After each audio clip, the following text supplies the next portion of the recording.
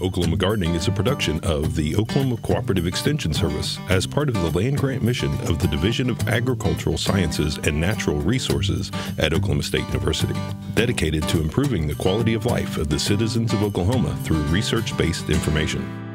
Underwriting assistance for our program is provided by the Oklahoma Department of Agriculture, Food, and Forestry, helping to keep Oklahoma green and growing. Today on Oklahoma Gardening, host Casey Hentges is cleaning up the shade garden and dividing hostas. We have a visit from last winter to a unique hydroponics nursery. Casey prunes our dogwood shrubs. And Barbara Brown has a tasty recipe for your morel mushrooms.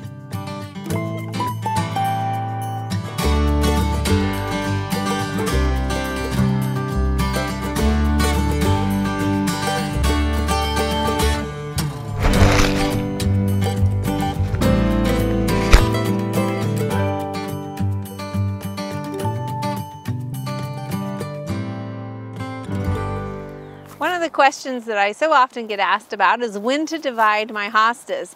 And a general rule for herbaceous perennials is if your plants bloom in the spring, you divide them in the fall. If they bloom in the fall, you divide them in the spring.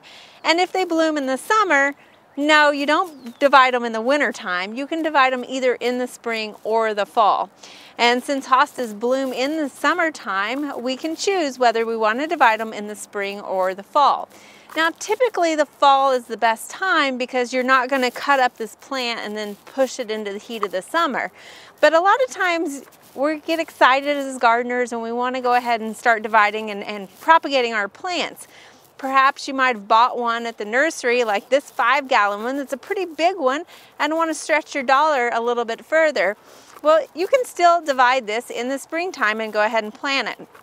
So we've got one here. This is a Halcyon cultivar.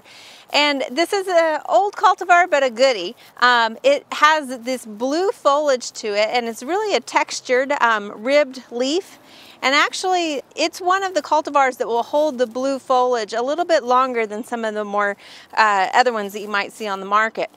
Now this particular cultivar gets to be about 14 inches, but will almost double in size once it starts blooming with a lilac uh, flower that will reach about 26 inches tall. So we're gonna look at this one. And this one, just last week, it just had little buds coming up and it's already started to leaf out. So this is probably the latest that you would really wanna divide it um, in the springtime. But we're gonna go ahead and take it out of its pot here um, and start looking at where we need to make those cuts. Now, it kind of depends on what your objective is with um, dividing a hosta. We're going to give it a, a gentle pull here to try to get it out. Um, see it's got a nice root system on it. It's not root bound, um, but just has good roots to it right here we can look through there and almost see um, that there is a nice division between some of these plants, some of these crowns. So we're going to cut through that.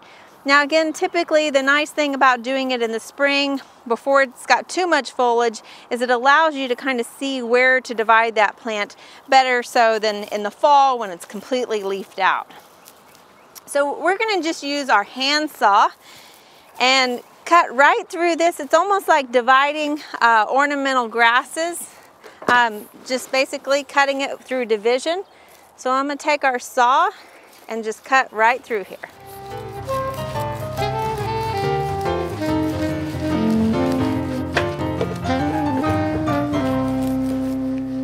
So we've got it divided in half now. But looking at this, I think I can go ahead and divide it uh, into a third by cutting it right in between here. Now really, hostas don't need division a lot. Um, this cultivar again is actually a fairly sizable clump um, and it'll take some time to regrow this good sized clump. It's a, a fairly slow growing cultivar. So you want to keep that in mind. We're cutting this knowing that it's going to take some time to reestablish these large clumps. But again, we're going to have three clumps now to work with to put in our garden. So before you attack a hosta, you want to think about how many you want to get out of it. Again, we could divide this even further if we wanted to get more. But for this, for our purpose here, we're just going to take these three sizable clumps, yet smaller, and we'll be able to grow three larger clumps eventually. As you approach dividing your hosta, you want to think about how many you might want to get out of it. Because um, again, we've only got three plants here. You could divide this more, but every time you divide it, you're reducing the amount of leaf and also root volume. And as you do that, that means it's going to take longer for each one of those individual plants to grow back and to become that large clump. Now, as you do this, you can also think about whether you want several plants to scatter around your garden or you want to create that bold look of one big hosta plot. If you want that bold look, but you've divided your hostas, something you might consider doing is spacing them appropriately, but spacing them together. So here we've got three of the same uh, cultivar, and if we plant them about two feet apart, we're gonna have a nice patch of this Halcyon hosta right here in a couple of years. Most hostas don't need dividing that often. In fact, if you've noticed that it's been growing pretty well for several years, um, you can leave it if you would like. You can divide it if you want to, uh, more plants to share around your garden or share with friends. But also you might look at the foliage and if it starts to decline on the inside, um, you might think about dividing it. Here we've got a good plot of a hosta so we're gonna dig this up and go ahead and divide it. Now when you're digging hostas, you wanna make sure that you're not digging right close to the crown of the plant. We're gonna dig a little bit further away, depending on how big, but maybe five or six inches away from the crown of that plant so that we can ensure that we're getting a large root ball to divide.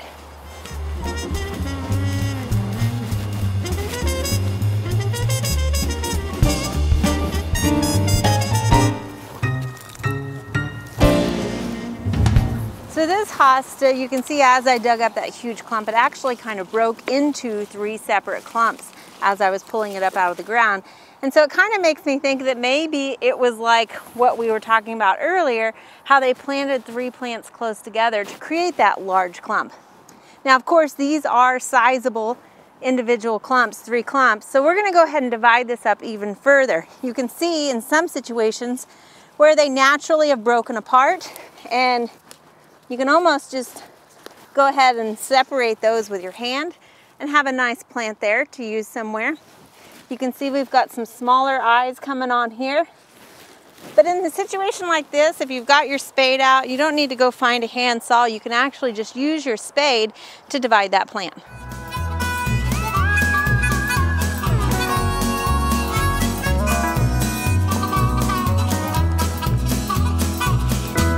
You can see we've taken what was one plant that covered about a square foot of maybe three feet. We've divided that into eight separate plants now that we can either scatter throughout our garden or make an even larger clump of this guacamole hosta. Remember, hostas are easy to divide like ornamental grasses. You just go in there and cut them apart. They're pretty tough plants, and it's a great way to get multiple plants out of one.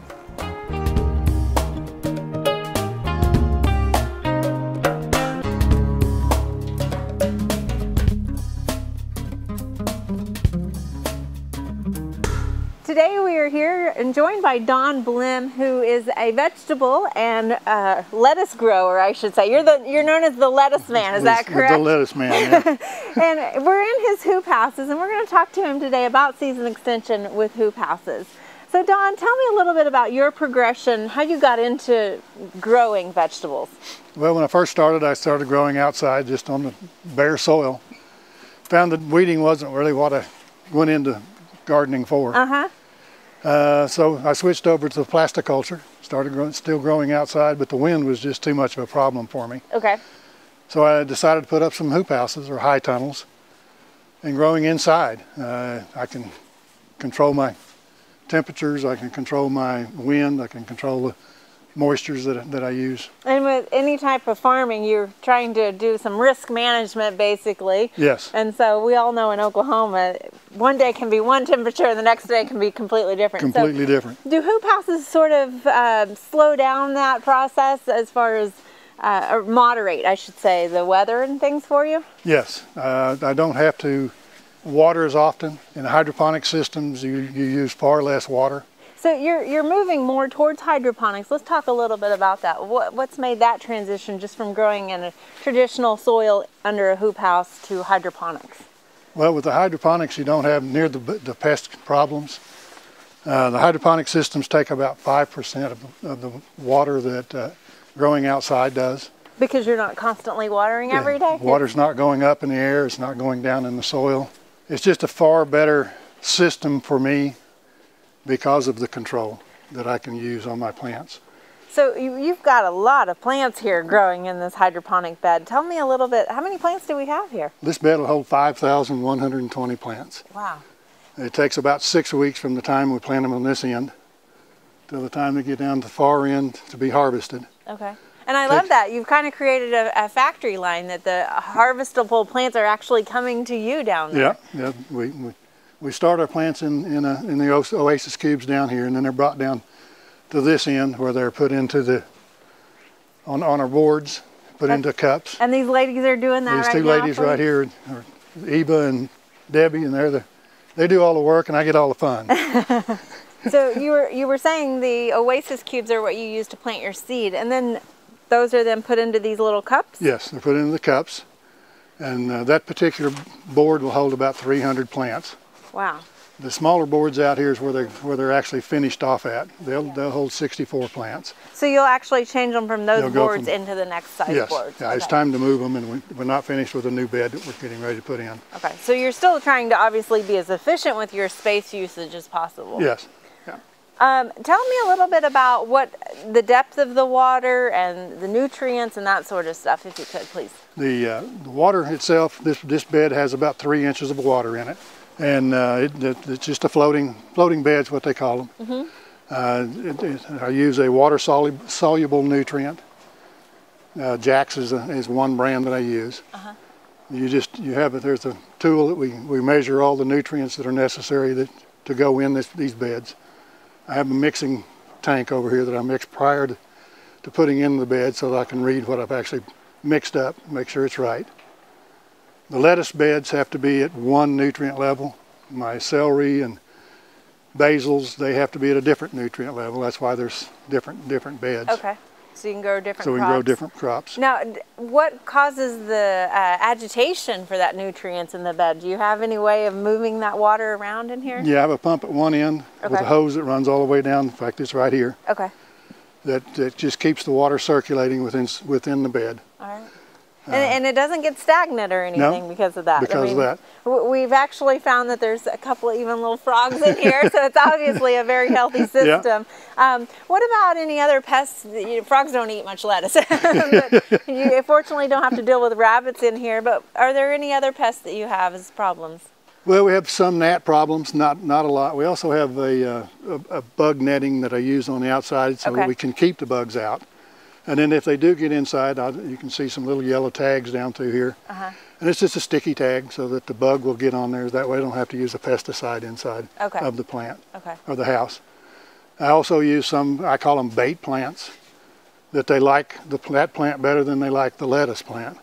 That way I can, I can identify my, my, my problems prior to becoming a real problem. So they're kind of like trap plants yes. that you mm. or bait indicator plant. plants. Yeah, bait plants. And, and, one of those is arugula. Is that what I understand? Arugula is one that they they they love the arugula prior to getting to the lettuce. Okay.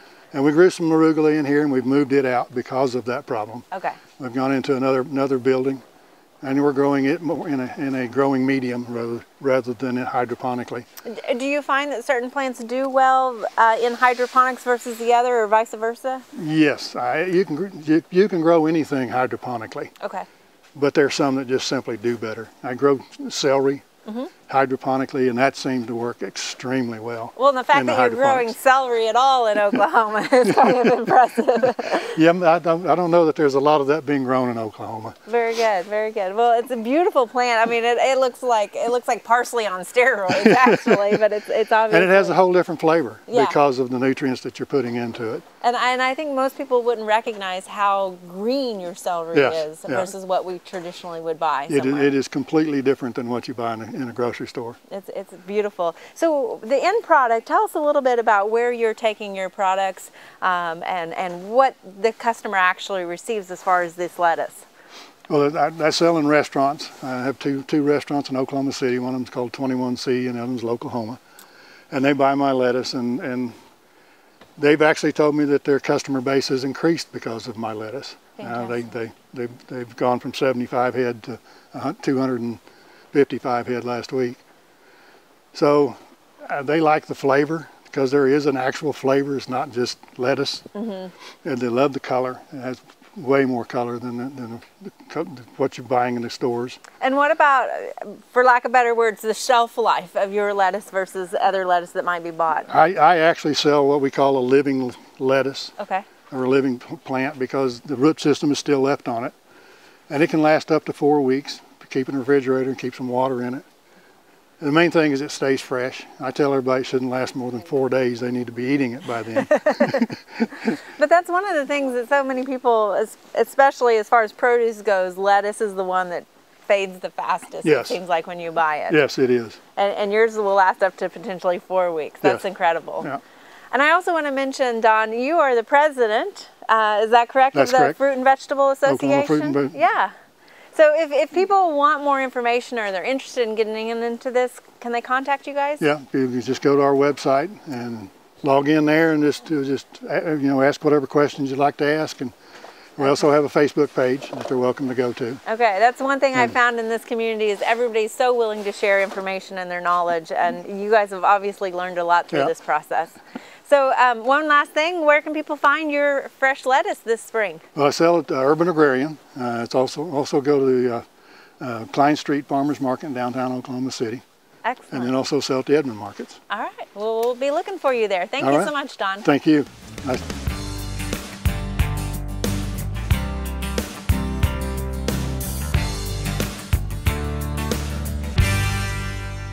Today we're going to be looking at pruning our red twig dogwoods. Now red twig dogwoods are known for their red bark that you see appear in the wintertime, but they're a really great plant to have in the Oklahoma garden year round.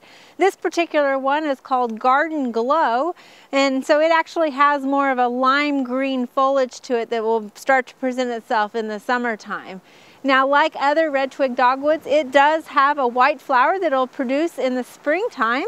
And then, as I mentioned, the lime green foliage in the summer, which will then eventually turn to your uh, traditional fall colors in the fall time. So it really has year-round interest to it. And when I talk about red twig dogwoods and how to prune them, you would treat your yellow twig dogwoods the same way. They're very similar, um, just one has yellow twigs and the other has red twigs. So on this particular one we're looking at, you can see that there are brown twigs uh, in this with also the red twigs. Now the red twigs are the newer growth and the brown twigs, as the twigs get older or the branches get older, they produce that more traditional bark on them and really begin to lose that red color that we're after for that fall winter attraction. So what you want to do when you're pruning this is to go in as low as you can to the base of that plant and prune out any of the older branches. These older branches again are the ones that have the kind of the dull brown bark to them. Most red twig dogwoods do well in full sun. Now because this one has a lime green foliage to it, it will scorch a little bit in full sun. So this particular one called Garden Glow actually likes a little bit of shade on it. Now they also prefer traditional average soil, so they really are well adapted to a range of soils. If they had their preference though, it would be moist, well-drained, slightly acidic soil. Now you're going to want to go in and prune this either once a year or once every couple of years to again take out that old growth, those brown branches. Um, if you haven't done this in a while, you might notice that you have several brown branches in there that you're going to want to remove. And in that situation, what you might do is just take maybe a third of them out the first year. So, because every time you cut out branches, you're going to be losing some of that foliage growth, that canopy growth also. So you don't want to take too much of that growth out of the canopy um, during that first year pruning. Again, that's on a shrub that you haven't pruned in several years. But in order to rejuvenate it, take about a third of those old branches out. The following year, take another third, so on and so forth. And eventually you'll have all of your growth being fresh and new and have that bright, vibrant color.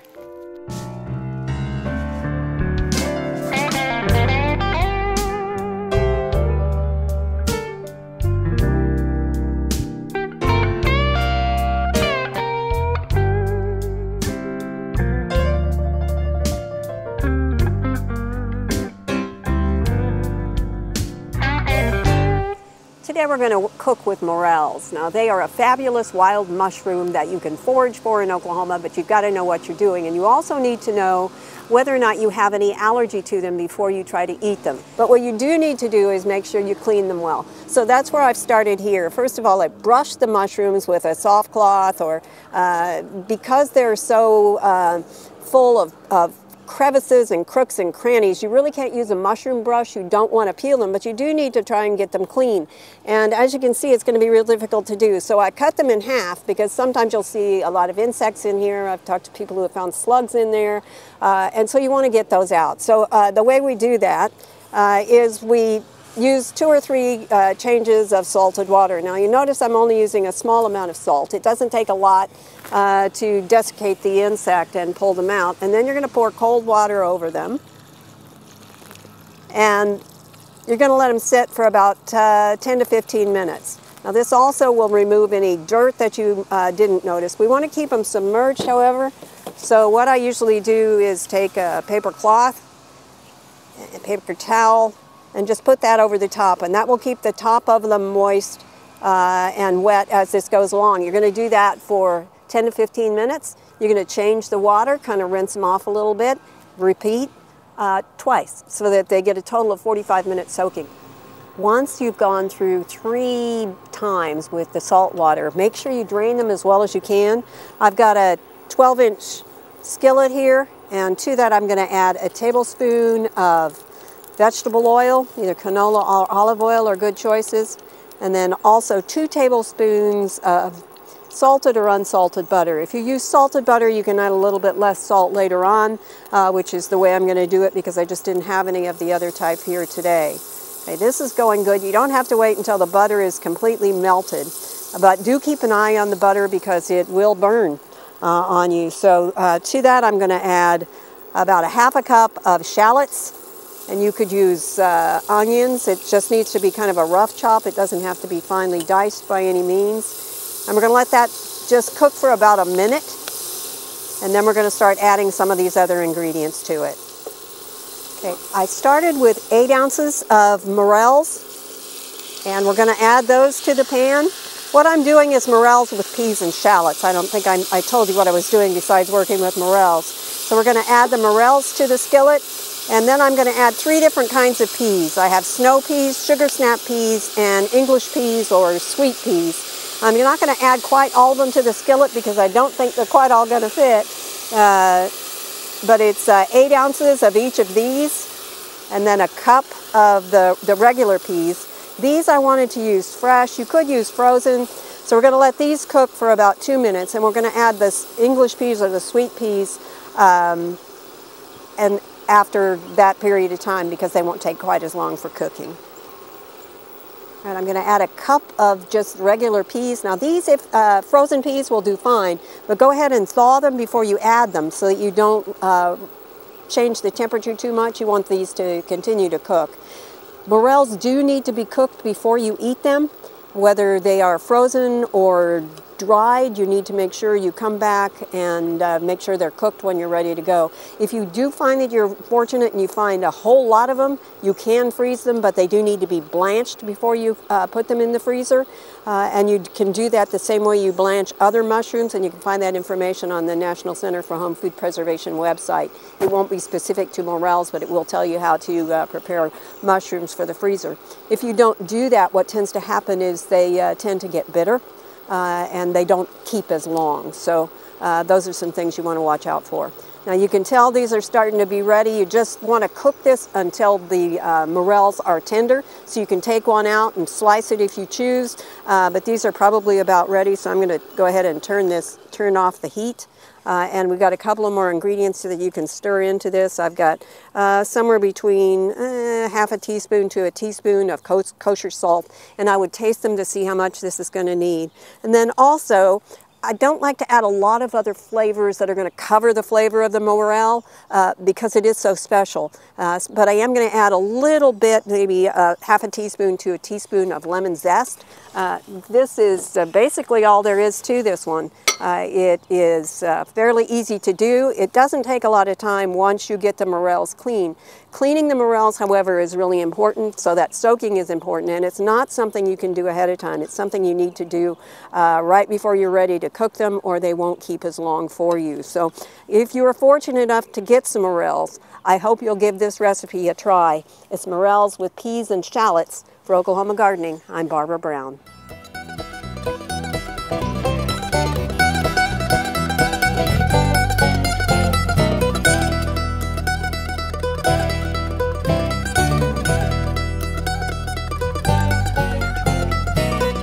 Next week, Casey will scratch our trees and small shrubs. We'll plant salsa in a container.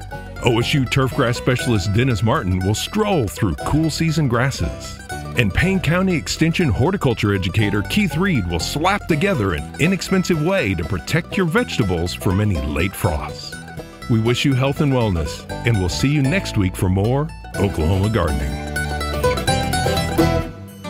To find out more information about show topics, as well as recipes, videos, articles, fact sheets, and other resources, including a directory of local extension offices, be sure and visit our website, oklahomagardening.okstate.edu. And we always have great information, answers to questions, photos, and gardening discussions on your favorite social media as well. Join in on Facebook, Twitter, and Instagram.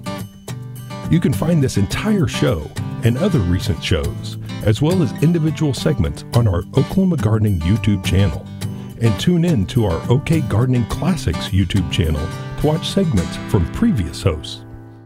Oklahoma Gardening is produced by the Oklahoma Cooperative Extension Service as part of the Division of Agricultural Sciences and Natural Resources at Oklahoma State University. The Botanic Garden at OSU is home to our studio gardens and we encourage you to come visit this beautiful Stillwater jewel. We would like to thank our generous underwriter, the Oklahoma Department of Agriculture, Food, and Forestry. Additional support is also provided by Pond Pro Shop, Greenleaf Nursery and the Garden Debut Plants, the Oklahoma Horticultural Society, and the Tulsa Garden Club.